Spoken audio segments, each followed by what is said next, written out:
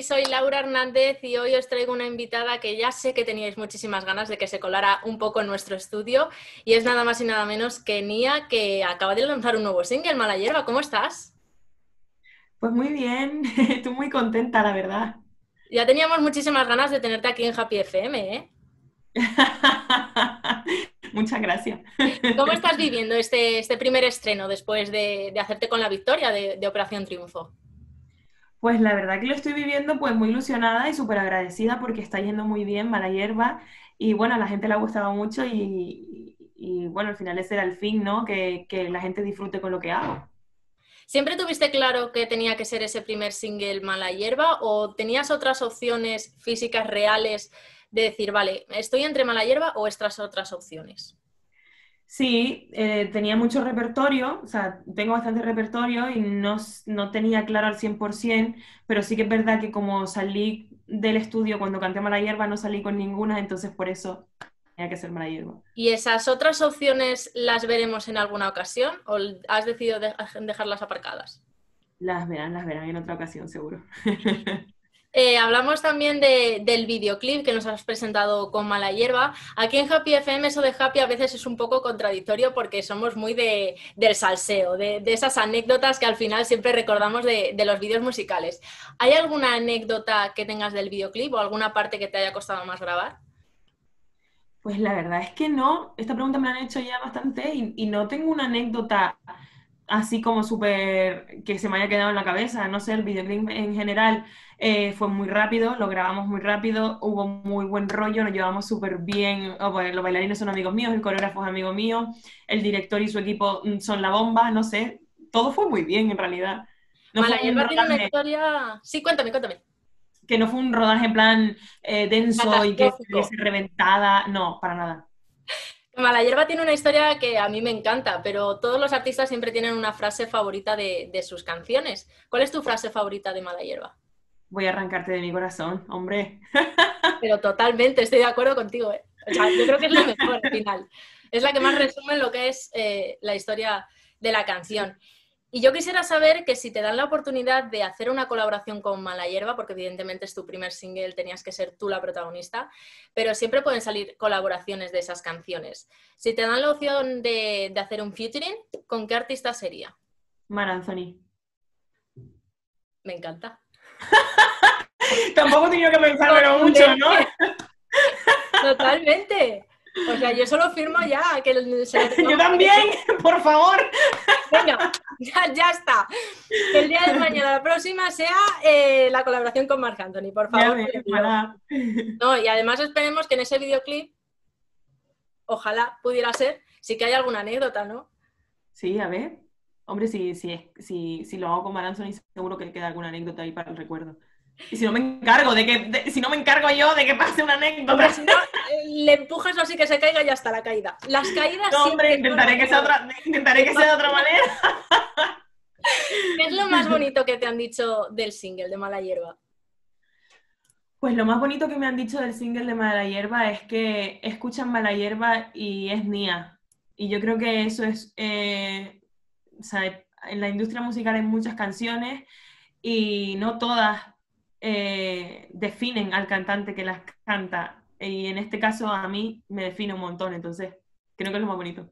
Claro, porque además tú salías de un formato que estabas haciendo versiones propias de canciones de otros y era muy difícil mostrar ese tú, pero sí que es verdad que, en, en Mala Hierba todos los comentarios que he leído, incluso en nuestras redes sociales que nos han hecho llegar, decían precisamente eso, que eras tú, Sí, y creo que eso, pues como te decía, creo que es, difícil encontrar el, sonido de cada persona, que hay gente que tarda mucho tiempo en encontrarlo y yo estoy teniendo suerte, o sea, es el principio de, mi carrera, es el primer single y bueno, pues estoy marcando una línea y es por la que quiero seguir. Sí que es verdad que voy a fusionar y voy a, eh, bueno, pues intentar buscar sonidos eh, diferentes o no, pero, pero, pero siempre va a tener esa cosa de Nia.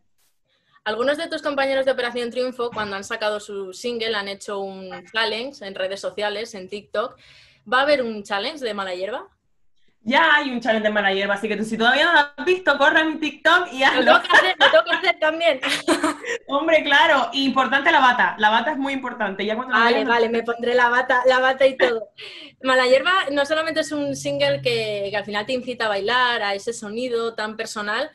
Va a haber una versión acústica de Mala hierba que no tiene que ser que salga a la luz en formato en Spotify, en iTunes, en plataformas, sino a lo mejor un vídeo acústico. Pues sí que es algo que me lo había planteado. Lo que pasa es que ahora, dentro de poquito, sale el siguiente single y tenemos previsto álbum o EP para el año que viene, todavía no, no lo tenemos claro al 100%. Entonces, pues no lo sé, me gustaría, ¿eh? Me gustaría mucho, porque se podría hacer algo chulo con Mala Hierba en acústico, así que no sé, le daré alguna vuelta, a ver. Algunas de las preguntas que nos han dejado tus fans eh, tiene que ver con que uno de tus puntos fuentes- fuertes en Operación Triunfo fueron las baladas y los boleros y les gustaría saber que si ya tienes compuesto alguno. Sí, sí, ya hay alguna compuesta, una, alguna balada. ¿Y el siguiente single va a ser una balada o las dejamos ya para el EP, para el formato más en conjunto? Hombre, el siguiente sigue más una sorpresa. Si yo te digo ahora que es una balada, ya desvelo lo que, lo que va a ser. Es diferente a Mala Hierba y es especial, pero no te quiero decir si es, si es una balada o no, porque vaya gracia. Factor sorpresa. Tienes toda la razón, tienes toda la razón. Eh, otro de tus puntos fuertes también fue la interpretación, que nos sorprendiste mucho. A ti si te dieran la opción de, de participar en una serie o en una película, ¿cuál de las dos elegirías? Hombre, pues cualquiera de las dos me haría ilusión. De repente es algo nuevo para mí, un proyecto diferente y me gustaría cualquiera de las dos, la verdad. Así que, por favor, directores, aquí estoy.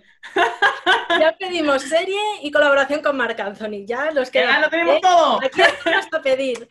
Eh, ¿Estás pensando en realizar algún tipo de concierto virtual? Porque ya que es verdad que tu carrera ha empezado de una mane- en mitad de una pandemia muy especial, ¿tienes pensado hacer algún tipo de concierto? Evidentemente, a lo mejor concierto es algo muy amplio, pero sí a lo mejor alguna actuación cortita.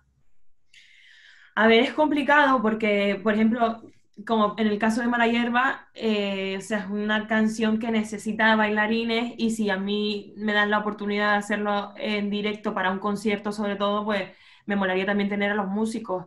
Entonces es muy complicado tal y como estamos ahora, juntar a tanta gente en un espacio es complicado.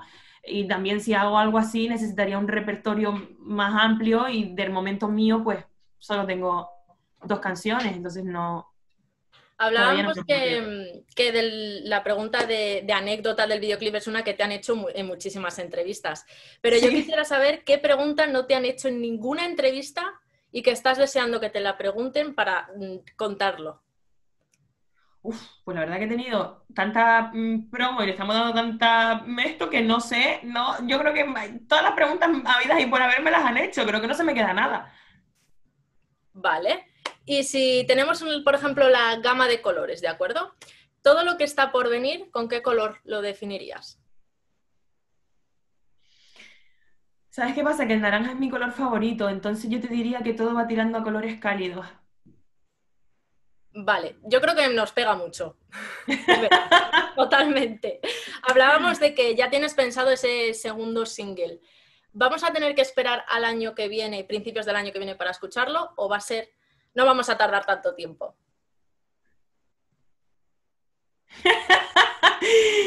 Claro, es que yo no sé si te puedo responder esto. Bueno, ¿vamos a esperar mucho para ese segundo single? Define mucho para ti. Hombre, eh, mucho es eh, tres meses. No, tanto no. Vale. Entonces, a principios de año, finales de 2020 vas a tener. Tanto no. Oye, Nia, pues que ha sido un placer entrevistarte. Esta es la primera vez que has estado con nosotros en Happy FM. Esperemos que sean muchísimas más y que en menos de tres meses estemos otra vez aquí, eh, estrenando ese segundo single y que Happy FM siempre va a ser tu casa. Muchísimas gracias, ha sido un placer. Un beso muy fuerte. Chao.